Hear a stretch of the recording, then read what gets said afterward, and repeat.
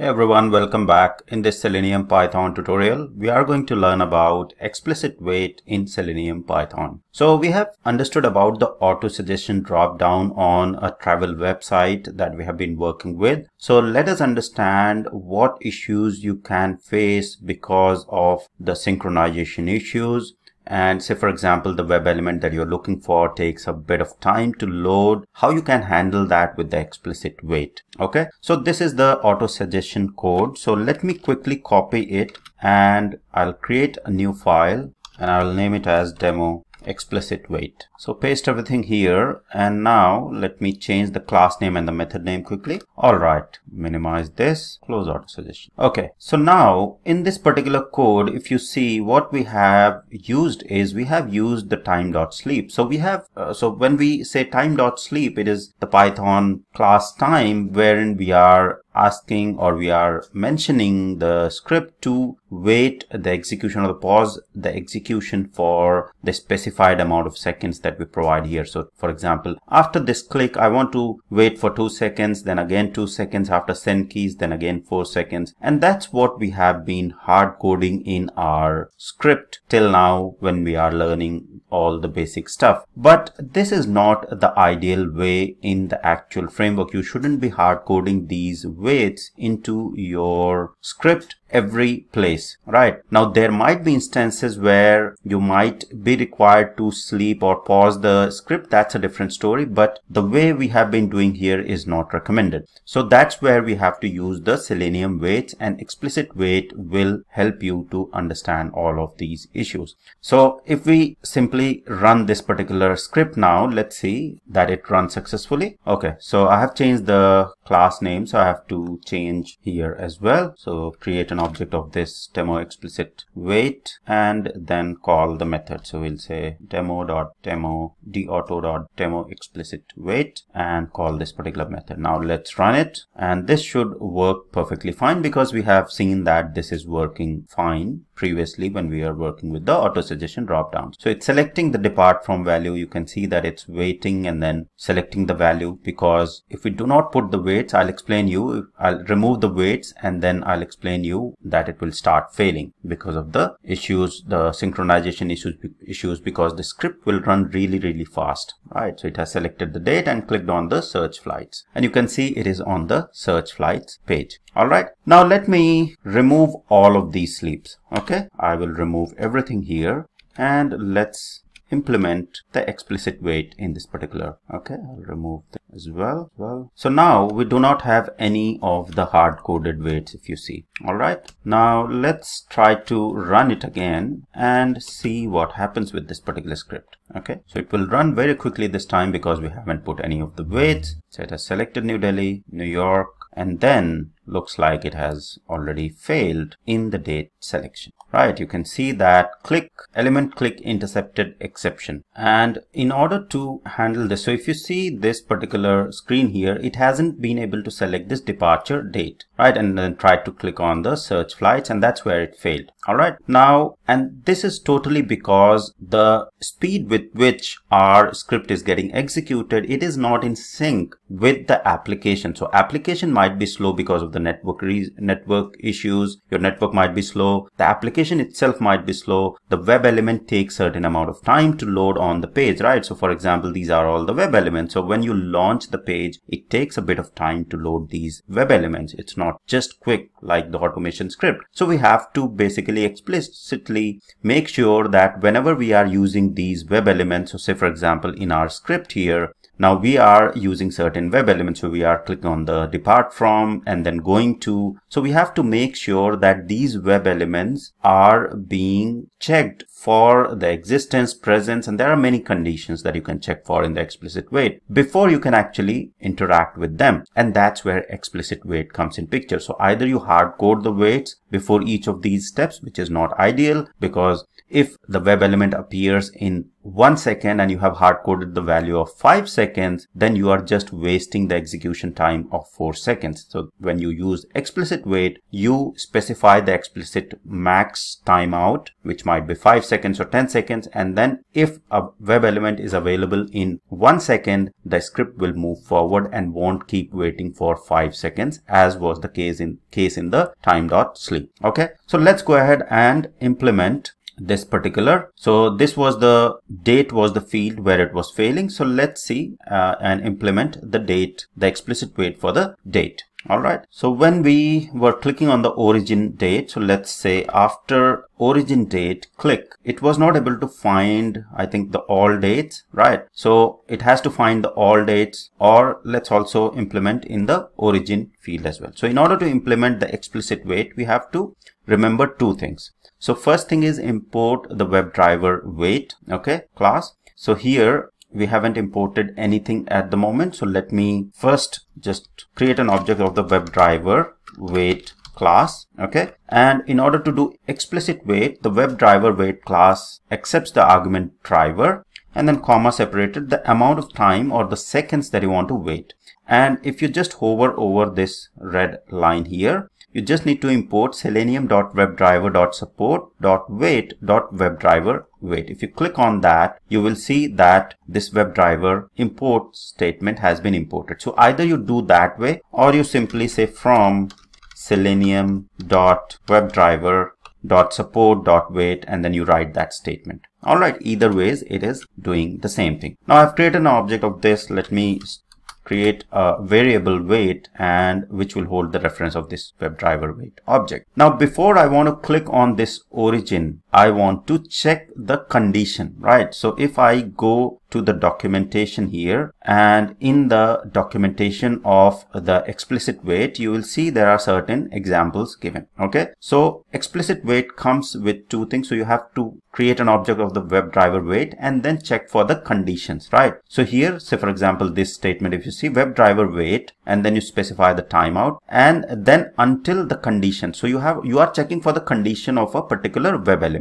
okay? So and then there are certain conditions. So alert is present or exists and there are many. Okay? If you go to this particular expected conditions class if you click that you will see that these are the expected conditions that you can check the web element for. So whether the element attribute to include or selected state you can check. You can check whether the located uh, element located is selected or not. So many different expected conditions are there. Okay? So element to be clickable right. So let's implement one of these. And here so after the wait what we have to do is we have to again import the expected conditions class. Right. So there is another class from the support itself. Right. So you can simply say from selenium dot webdriver dot support and then you just say import expected conditions right? So this is another import that you have to do along with the WebDriver wait because explicit wait works hand in hand with the WebDriver wait and the expected condition. And then you can specify the expected condition alias as well. You can say as and I can simply say EC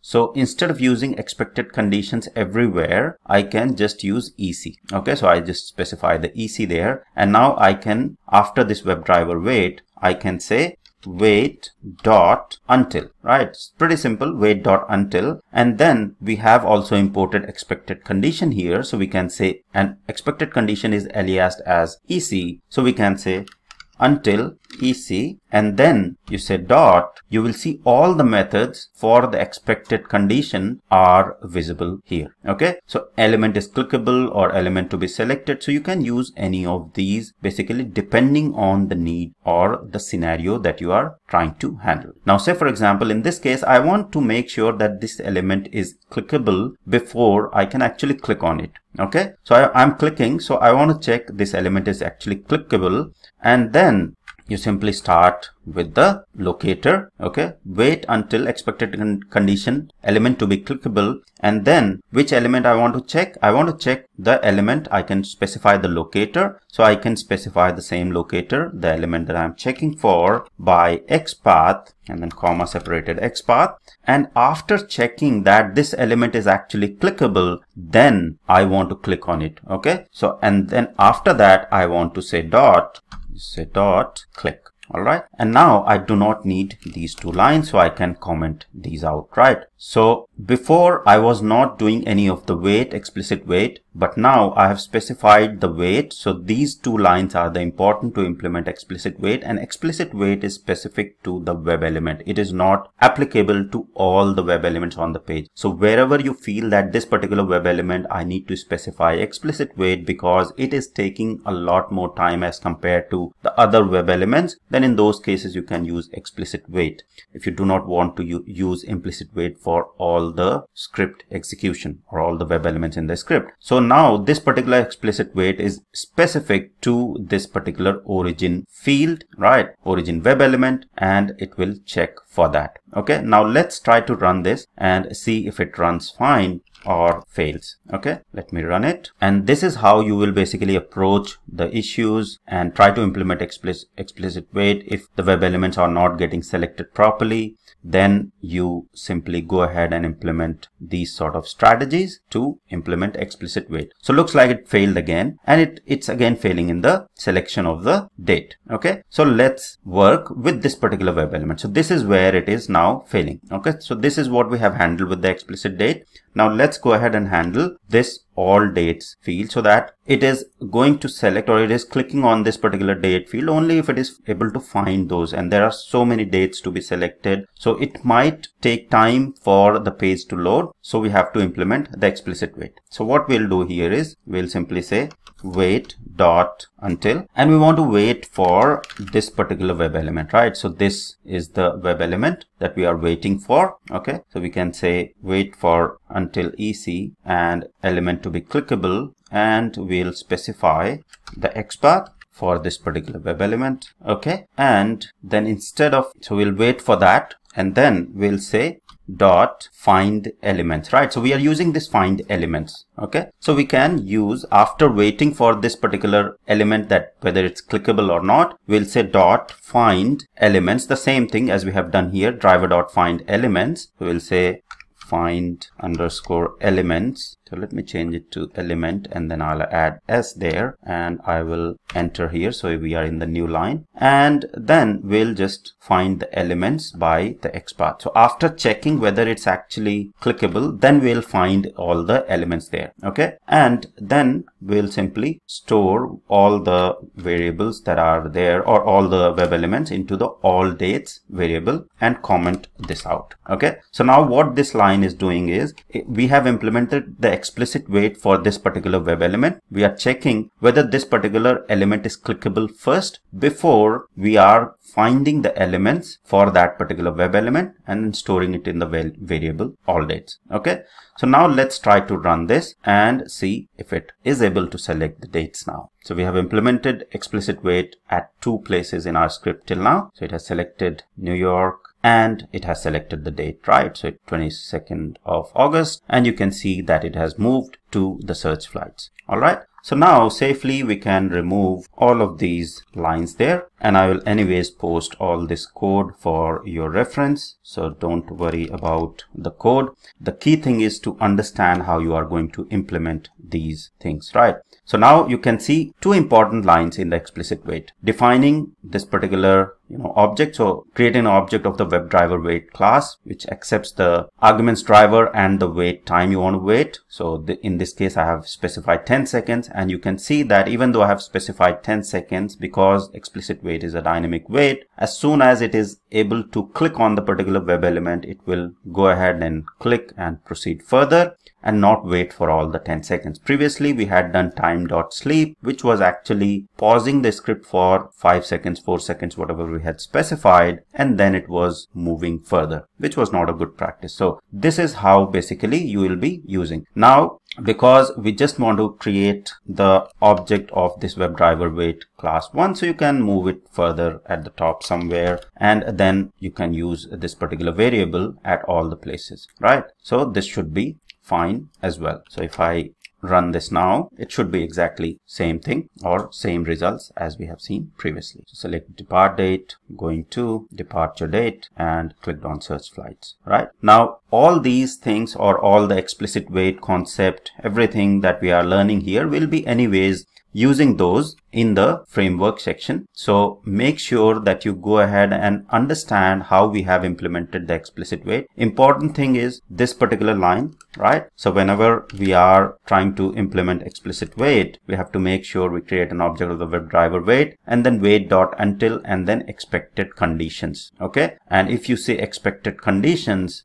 if I simply change this or see expected conditions with the dot. So expected conditions, you can see we have lots of expected conditions that we can use. Presence of element, element clickable, visibility. So depending on the scenarios here, I was trying to click on the web element. So I have just used the element to be clickable, but not everywhere you want to click on the web element. Say for example, there is a web element for which you want to text, you want to check whether the element, the text is present in the element, right? Whether the text has loaded. So you use, you, you use text to be present for that particular web element. So there are many things to practice in this explicit way. Try to go ahead to these similar websites as, as we have seen like yatra.com because this, these are the scenarios that you will face in the real setting or real projects and not the dummy websites. Okay. So that this will give you a lot more confidence because once you are able to figure out how to tackle all these issues on the real website, the project work will be very, very easy for you. Okay. So just try to understand these lines here and see how you can practice more on implementing the other fields. So for example, in terms of assignment, I would say